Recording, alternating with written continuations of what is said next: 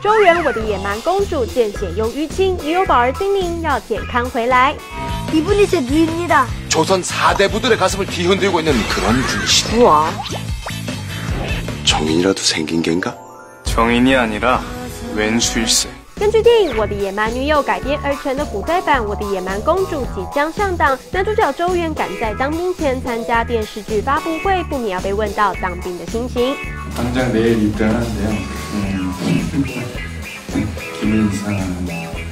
어, 그 심정은 그냥 생각보다 괜찮은 것 같아요.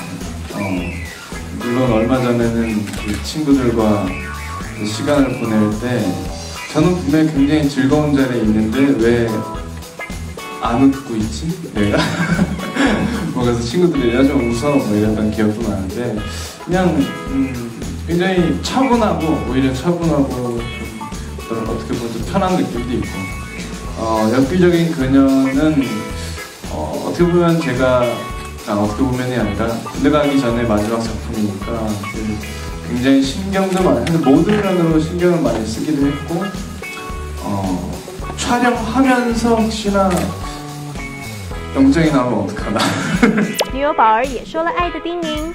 우리 부하양 같은 경우는 뭐 길지만 길지 않은 시간이 있고 건강히만 잘 갔다 와라 이런 말을 했던 것 같습니다 电影版《野蛮女友》动作戏超多，电视剧版又是如何呢？ 저희가 주원 씨랑 저랑 준래 씨는 굉장히 그냥 막 싸움이에요. 그러니까 액션처럼 하고 있는 게 아니라 그냥 때리는 거여가지고. 근데 사실 저랑 촬영을 하다가 멍도 되게 많이 들고 피도 나고 그러니까 저희 둘 다 막 피나고 이래서 네, 약간 전쟁 같은 사람이라고. 좀 당황스럽더라고요 사실. 아, 내가 여자한테마다 이렇게 피멍이 든단 말이에요. 어, 정말 시퍼렇게 이 팔뚝에 멍이 들어가지고. 근데 처음엔 잘못 봤나 했는데 정말 피멍이 시퍼렇게 들어가지고 이제 그거를 찍어가지고 이제 감독님이랑 영상 보내줬었는데 정말 마음도 이쁘게 이 다음날 바로 약을 저한테 선물을 정말 해줬어요. 어머니께 너무 미안한 거예요. 금쪽 같은 아들 몸에다가 멍을 들고 피를 나게 해가지고